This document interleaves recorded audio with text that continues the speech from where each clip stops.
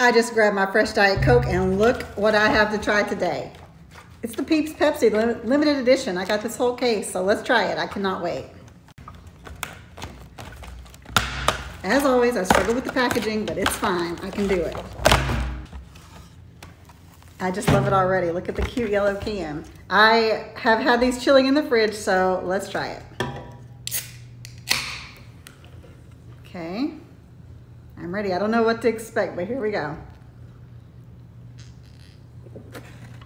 I love it. It's very different, but you can definitely taste it. It tastes just like a peep and also like a Pepsi. So totally like this. I'm gonna give it a eight out of 10 just because it's a Pepsi. If it was, I'm not gonna say it.